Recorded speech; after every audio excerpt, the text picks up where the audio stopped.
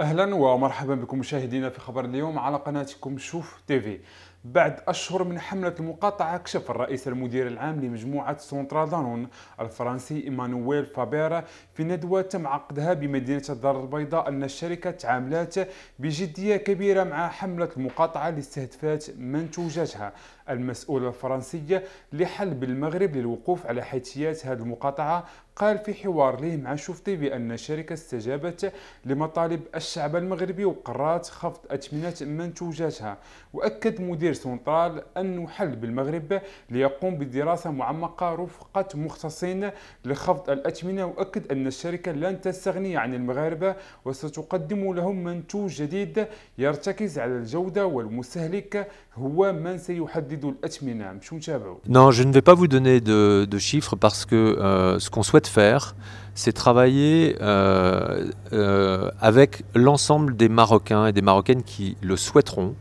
pour établir ce que peut être un prix juste pour un produit euh, de très grande quotidienneté, de consommation quotidienne, important pour la santé euh, des familles et, et des enfants. Donc on va le faire en totale transparence sur les coûts que nous euh, supportons. On va le faire en nous assurant que Danone ne fera aucun profit بهذا التوضيح المقدم من الرئيس المدير العام لمجموعة سونترال دانون كان وسط مشاهدينا لختام خبر اليوم إلى اللقاء ودمتم في رعاية الله